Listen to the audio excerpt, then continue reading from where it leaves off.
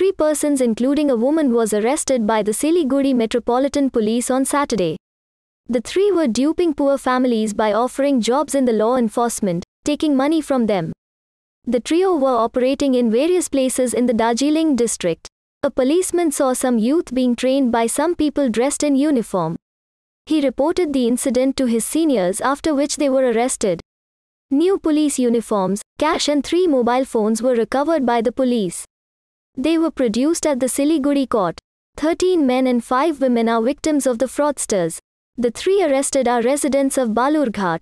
একটা fake recruitment এবং training scam চলছিল তো এই র্যাকেট এই র্যাকেট কিছু মানুষের কাছ থেকে টাকা নিয়ে মিথ্যা পুলিশ ভর্তি করেছিল পুলিশের ট্রেনিং শেষ হয়ে যাবার পরে আবার তাদেরকে সরকারি পুলিশের চাকরি দেওয়ার প্রতিশ্রুতিও দিয়েছিল ইনকোয়ারি হলো তারপরে যেটা পাওয়া গিয়েছে কি এ- এনার মোডাস অপারেন্ডি ছিল কি মোডাস অপারেন্ডি যেটা ছিল কি, সবাই লোক কাছে তিরিশ হাজার টাকা পঞ্চাশ হাজার টাকা, এক লাখ টাকা কালেক্ট করে, তারপরে ওনাকে বলে কি আপনার আমি ট্রেনিং করব, তারপরে আপনাকে জব দিয়ে দেব।